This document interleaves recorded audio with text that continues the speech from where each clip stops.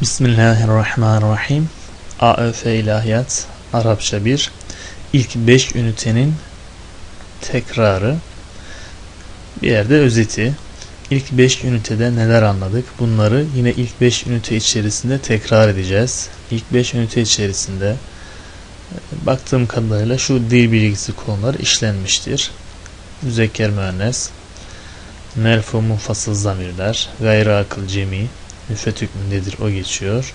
Mazi çekimi, sülasi mücerret neyin nesidir? Kur'an-ı Kerim'de kısamus seb'a, muzari çekimi, muttasıl mensup zamirler, işte merfu, mensup, mecrur kavramları, fiil cümlesi, isim cümlesi, harfi cerler diyebiliriz. Tabi her bir farklı bir ünitede işlendi ama biz her ünitede aynı konulara bakarak devam etmeye çalışacağız. Örnekleme yapmak gerekirse. Evet şimdi şu şekilde bakacağız arkadaşlar. Mesela müzekker müennes, semai müennes, hatta isim cümlesi, fiil cümlesi, müpteda, haber gibi her birine bakalım. El-Arabiyyetu El-Arabiyyetu Arapça kelimemiz nedir? Müennestir. Kapalı T almıştır. Fi harfi cer. Harfi cer konusu bu ünitede işlenmemişti. İleriki ünitenin bir konusu ama biz yine de o konuyu bu ünitede görmeye çalışıyoruz. Fi harfi cerrimiz hayati mecrurdur. Mecrur, merfu, mensup kavramları ilerleyen ünitelerde yine işlenmişti. Biz ilk 5 ünitede her ne öğrendiysek 5 ünitedeki tüm bilgilerimizi bu üniteye aktarıyoruz. Daha sonra ne öğrendiysek ikinci üniteye aktaracağız. Ne öğrendiysek 3'e, 4'e ve 5'e aktararak tüm bilgilerimizi oralarda tekrar edeceğiz. Böylece pekiştirme yapmış olacağız esasen. Nitekim bu üniteyi işlerken hayat kelimesi mecrurdur, cerelameti esredir diye işlemedik. İlerleyen ünitelerde bu anlatıldı. Ama daha fazla örnek olmuş olacak ve pekişmiş olacak düşüncesiyle 5 e, ünitelik bilgiyi her bir ünitede ne yapacağız? İşleyeceğiz. El arabiyyetu nedir? Merfudur mesela. Ona da dikkat edebiliriz. El arabiyyut Arapça kelimemiz merfudur. Raf alameti zammedir. Fi harfi cerrimizdir. Hayati onun mecrurudur. Na zamiri var burada. Na zamiri ne tür bir zamirdir? Henüz işlenmedi esasen. El yemiyeti bu da mecrur bir isim. Cer alameti esre tahiyyetun merfudur raf alameti. Zammedir aynı zamanda müennestir aynı zamanda müfrettir. En arabiye de müfret hayat da müfret yevmiye de müfret. Aliyün müzekkerdir, müfrettir, merfudur, raf alameti. Zammedir. Esselamu, selam aleykum sizin üzerinize olsun. Ya Ahmedu, ey Ahmet, selamun aleyküm demiş oluyor. Şimdi değerli arkadaşlar, Esselamu müptedamızdır. Evet. Haber nerede? Haber aleykum. Ne tür bir haber? Ala harfi cer, kum onun mecruru. Ala harfi cer, kum mecrur. Nasıl mecrur? Mahallen. Çünkü mebnidir. Mebniler mahallen irap alır. Peki ne tür bir haber? Müfret mi? İsim cümlesi mi? Fiil cümlesi mi? Evet. Şibih cümle. Çünkü ala harfi cer ve kum mecrurundan oluşuyor. Harfi cer ve mecrurdan şibih cümle oluşur. Aynı zamanda zarftan da şibih cümle oluşmaktaydı. Şibih cümleyi A ve B olarak ayırmıştık. Demek ki haber burada şibih cümle olarak gelmiştir. Ya nida harfimiz henüz işlenmemiş bir şey. Ahmedu onun merfusu. Münada henüz yine işlenmemiş bir şey. Ahmet diyor ki ve aleykum esselamu. Ve aleyküm sizin üzerinize olsun. Esselamu selam ya Aliyyü. Ali diyor keyfel hal Ahmet ene bi hayrin. Ene bir zamir. Ne tür bir zamir? Munfasıl merfu zamir. Fail olabilir mi? Olamaz. Öyleyse nedir? Müptedadır. Mahallen merfu olması gerekir. Ene ben bi hayrin iyiyim. Bi hayrin haber olmuş olur. Elhamdülillah ve ente ente zamiri daha önce geçti. Ne tür bir zamirdi arkadaşlar? Hüve humahum hiye humahunne ent entuma entum enti entuma entunne ene nahnu ne tür bir zamir?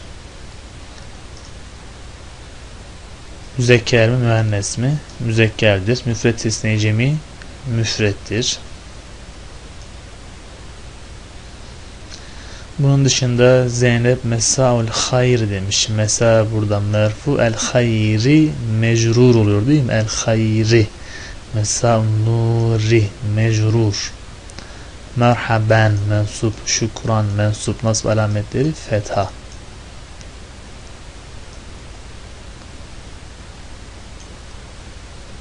El ummu iyi geceler diyormuş. Leyletun saidetun her ikisi de müennestir. Bunu görüyoruz. Her ikisi de müfrettir. Tesne veya cemi değildir. Her ikisi de arkadaşlar aynı zamanda merfudur. Raf alametleri her birinin zamme olmaktadır.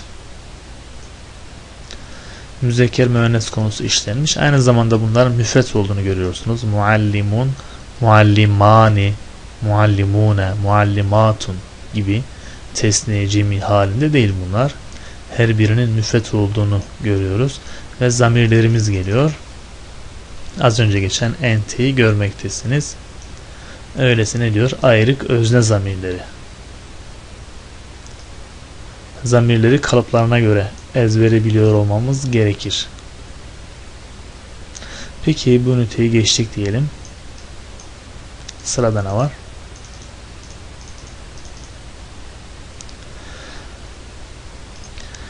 İkinci ünitede Muhammed ile Selim'in konuşmasını görüyoruz.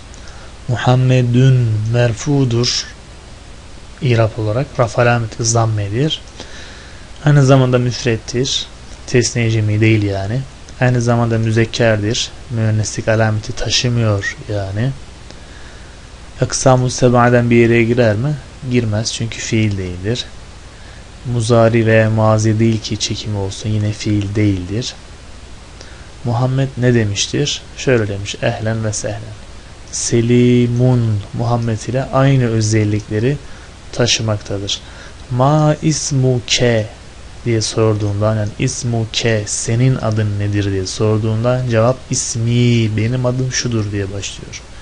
Onun adı nedir deseydi şurada olduğu gibi ismuha deseydi yani ma ismuha diye sormuş soruda ha geçtiğinden cevapta ismuha diye verilmiştir. İsmuha Zeynep. Veya ne demesi lazım? Hiye Zeynep. O Zeynep'tir. Ha geçtiği için ya bizzat cevapta ha geçecek ya da cevapta hiye geçecek. Soruyu hu diye sorsa cevabında hu olacak veya hüve olacaktır arkadaşlar. Nahnu ne tür bir zamir? Teşarraftu tu ne tür bir zamirdir. Sıra feal fiili, anel fiili, lamel fiili ve eksamus seba adlı konuya gelmiş oldu. Eksamus seba'yı biliyorsunuz. Vav ya elif. Bunlardan herhangi biri veya birden fazlası bir fiilde bulunursa o fiile mutel fiil adı veriliyor. Hiçbiri bulunmazsa ona sahih fiil adı veriliyor. Ama bu eklerin fiilin orijinalinde olması gerekiyor. Kitap bunu belirtti. Bilmiyorum satır satır okumadım ben kelimenin orijinalinde bulunması lazım. Bu çok önemli bir ayrıntıdır. Aynı şey sahihin muzaf kısmı için de geçerli. Şimdi sahih nedir? Üçe ayrılıyormuş. Sahih, salim, muzaf, mehmuz. Artık biliyorsunuz mehmuz hemzeli olan fiildir. Hemzenin kelimenin orijinalinde olması lazım. Şu orijinal derken neyi kastediyorum? Mesela bir tane kelime yazalım. Ne diyelim? Şedde olduğu kadar diyelim artık. Şedde tür bir fiildir? Sahihin muzaf kısmıdır. Neden? Şedde içerdiği için. Şedde içeren her fiil sahihin mutel kısmından mı olur? Olmaz ki. Örnek yazalım.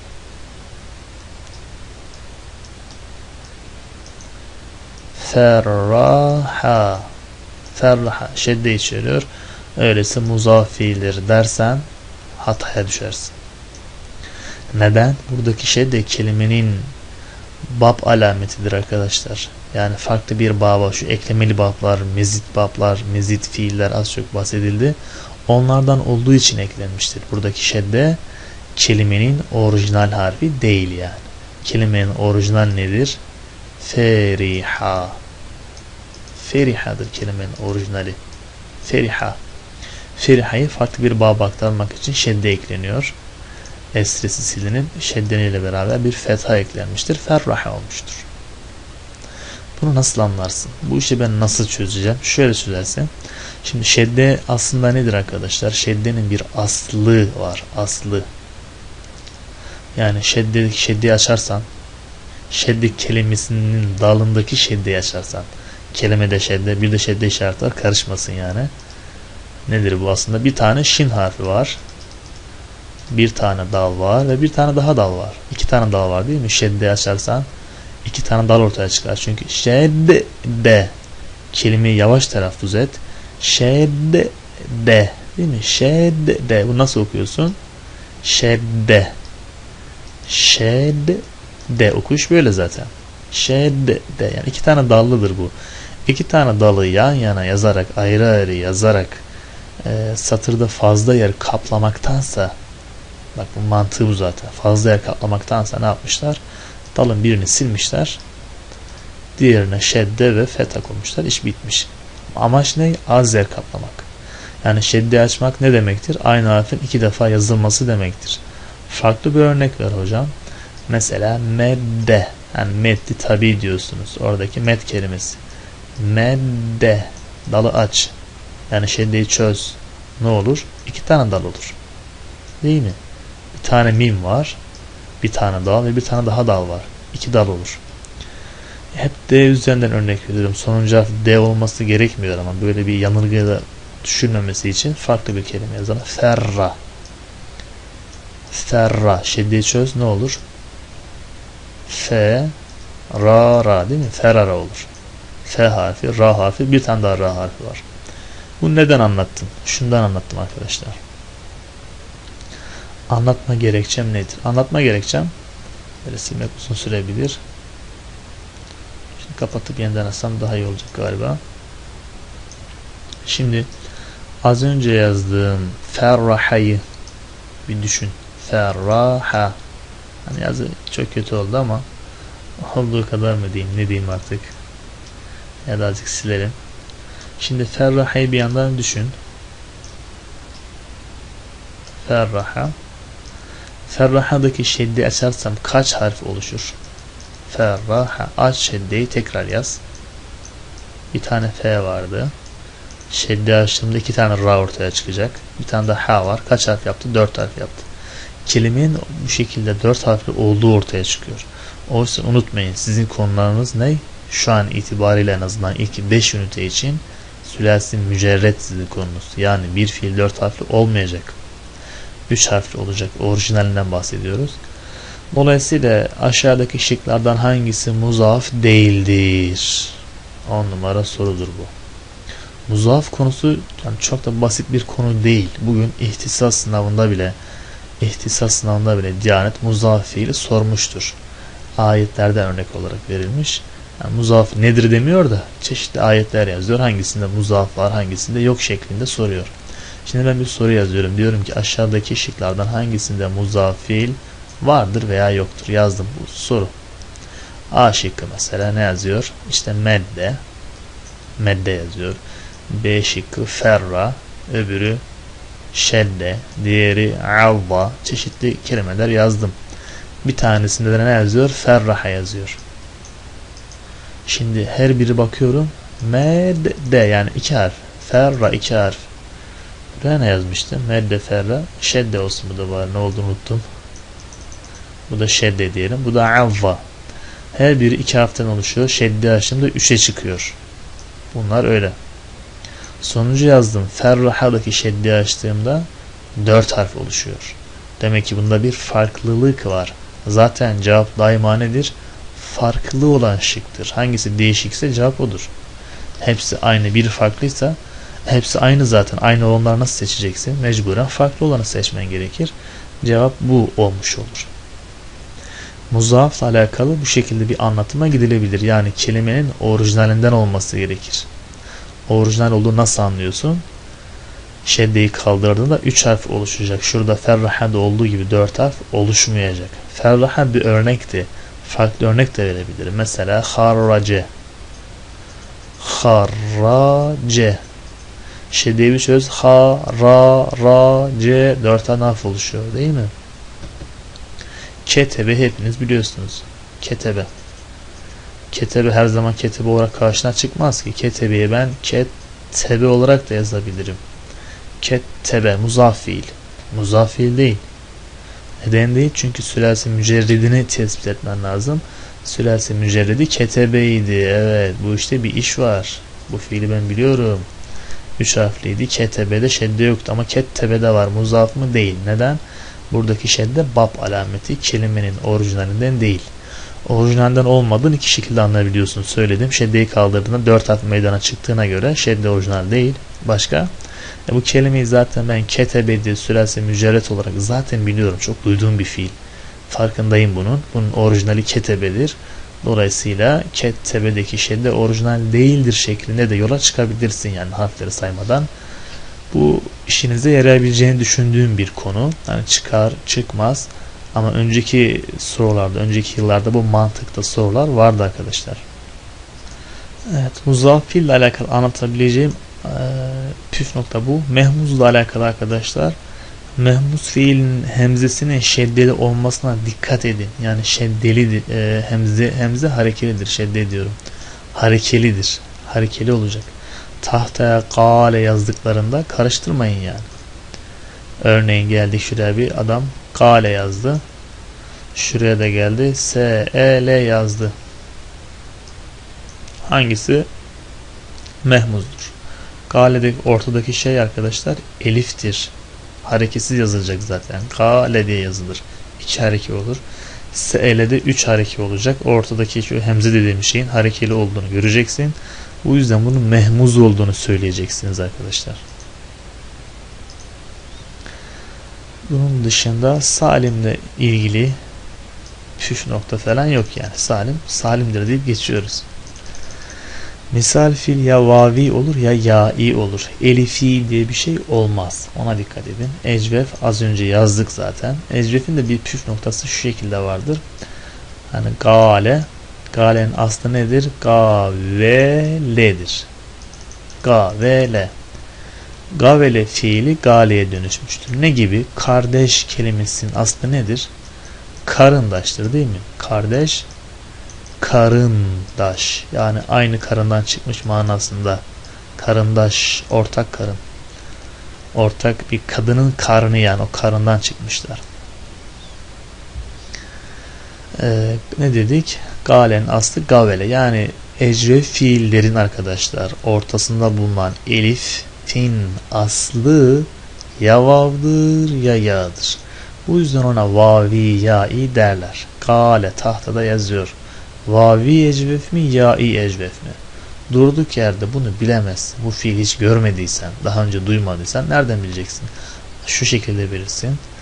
Arkadaşlar e, sözlüğü elinize alacaksınız. Bu fiilin mastarının nasıl geldiğini göreceksiniz.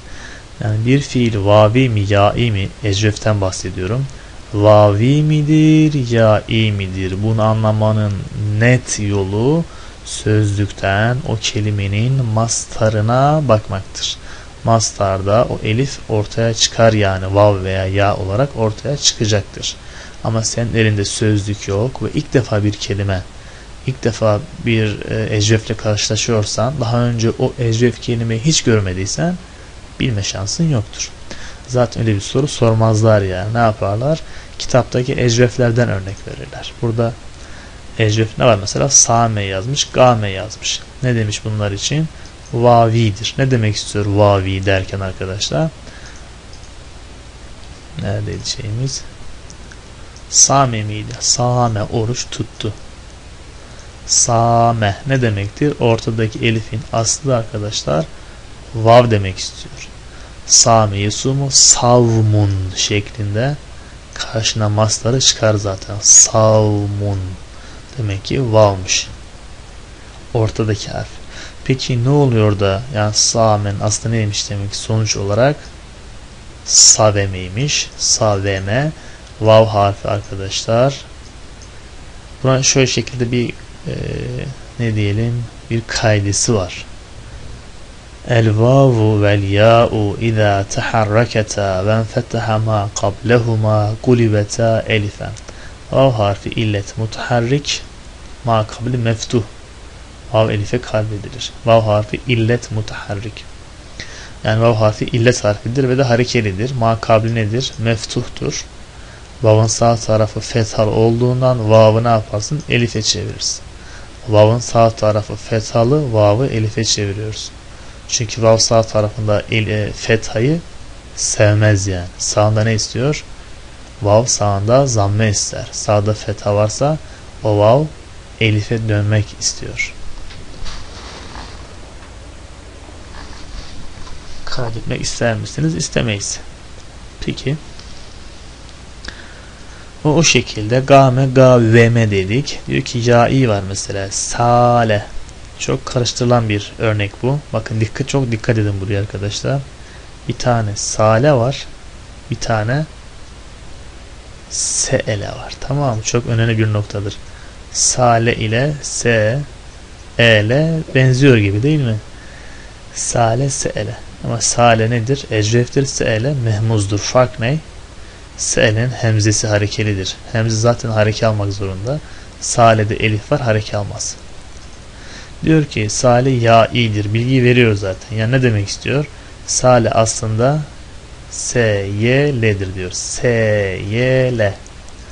Ya harfindeki kural az önceki vavdaki gibidir. Ya harfi illet mutaharrik ma kabli meftuh ya elife çevirirsin. Yani ya harfi burada harekelidir. Ma kabli fethalıdır. Ya'yı ne yapacaksın?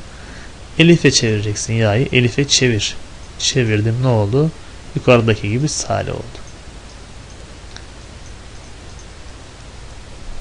Aynı kural arkadaşlar ne için? Ba için de geçerli. Aslı B, Y, A. Ya harfi illet mutarik ma kavl meftuh ya elifi çevirirsin. Nakıs fiil. Nakıs da'a örnek. Nakıs da vavi ve ya'i olarak yine ikiye ayrılmıştır. Da'a, rama şeklinde.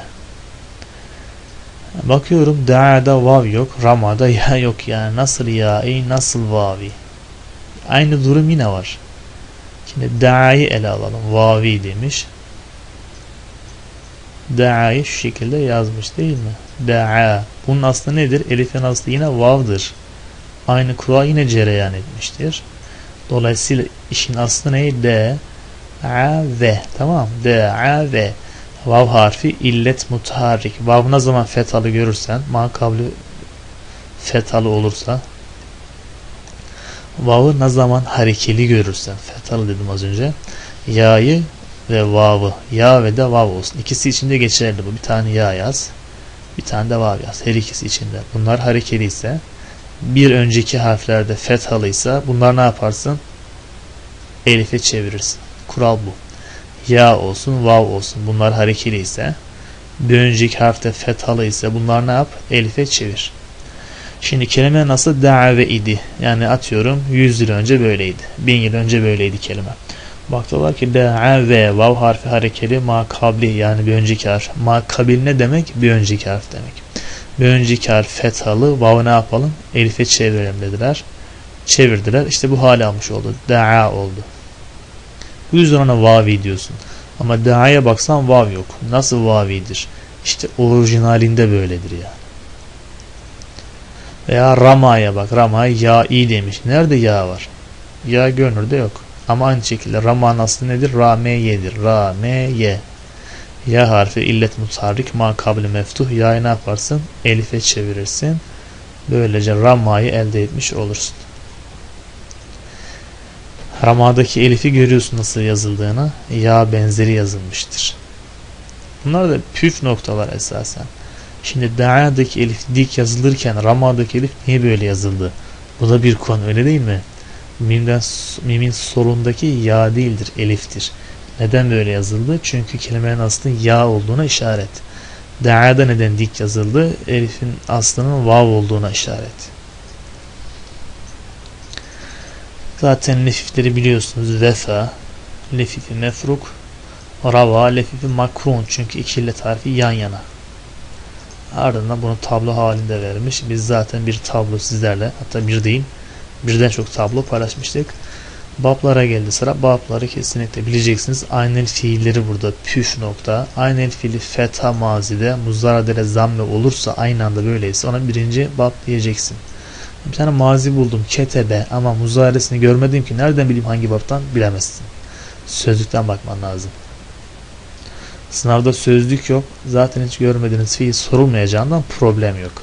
Şuradaki fiiller hangi babtan olduklarını bilin. Neden o babtan yani?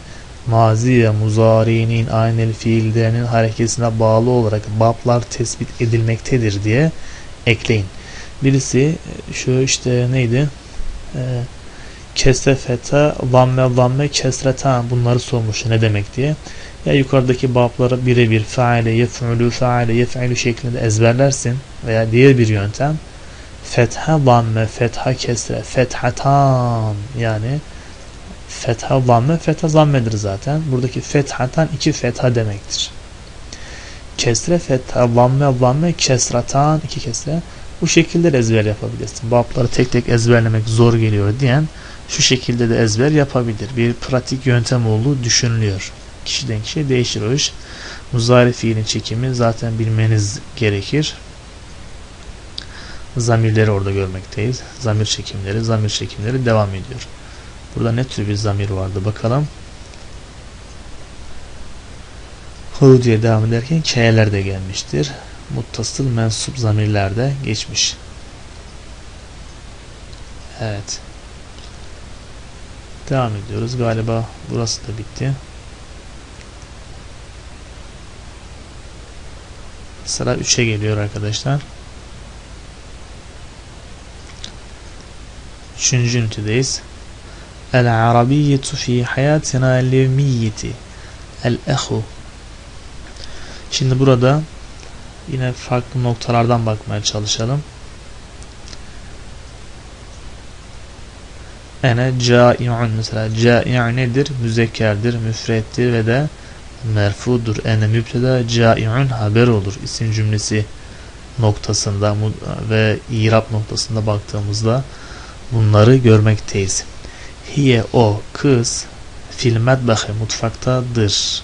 Hiye mübteda fil medbah onun haberi olur. Nasıl haber? Fi harfi cer el medbah mecrur car mecrur yani şibih cümle olarak haber karşımıza çıkmıştır. Nahnu biz neşrabu biz içiyoruz eşşaye çay. Buradaki nahnu ne olur? Müpteda olur. Zamirdir değil mi? Öyleyse mebnidir. Öyleyse mahallen irap alacak. Mahallen ne olsun? Merfu olsun. Niye merfu? Çünkü müptedalar mahallen merfu olur. Neşrabu fiil muzaridir. Eteyne ekinden nunu almış. Neşrabu muzari fiil merfudur raf alameti zammedir. Neşrabu fiil faili gizli zamir nahnudur. Buradaki nahnu değil. Bunu zaten görüyorsun. Bir de görmediğin nahnu var. O da ikinci nahnu yani. Bu görmediğiniz ikinci nahnu neşrabunun faili olur. Fiil artı fail birlikte fiil cümlesi olup mahallen merfu ve nahn müptedasının haberi olmaktadır. Eşşaye neşrabu fiilinin mef'ulü bihi olmaktadır ve el kahvete ve kahve demiş. Entuma siz ikiniz teşrabani içiyorsunuz. Entuma bak nokta var cümle bitti. Entuma mübteda teşrabani onun haberi. Nasıl haber? Fiil cümlesi olarak. Teşrabani fiil. Elifi onun faili olmaktadır. Asira ise onun mef'ulü bihidir. Teşrabani mecrur değil mi hocam? Esra almış nun. Buradaki nun daima esrilidir zaten. Feta olmaz yani. Tesniye nunları daima esrili olarak karşımıza çıkar. Geçtik menhuma menhiye bölümü çeşitli sorular ve cevapları görmekteyiz arkadaşlar. Buradan da bir iki tanesine değinelim. Mesela hunne dalibatun. Hunne onlar müptedadır. Dalibatun ise haberdir. Bu taraftan bunu söylemiş olduk. Sol taraftan da hiye zehra'u hiye müpteda zehra'u onun haberi olmaktadır. Müptedaların zamir olarak karşımıza çıktığını görmüş olduk çeşitli isimler vardı az önce yiyecek isimleri ezberlemekte fayda var. Merfu, mensup, mecrur nedir? Yani burada zamme, fetha, kesre gördük diye mecrur kesre demektir demeyeceğinizi daha önce ifade ettik. İrab bölümünde. Ketebe bu risaleten fiil fail meful tam olarak karşımıza çıkmış durumda. Et talip müzekkerdir. Risaleten kelimesi ise onun mefulü olarak karşımıza çıkıyor. Fiil fail meful. Harfi cer var mı? İla harfi cerrimiz var. Dabibin mecrur cer alameti esre almıştır. Görüyoruz. Onun dışında değinebileceğimiz pek bir şey kalmadı sanırım. Artık arkadaşlar konuyla alakalı iki tane video çektik.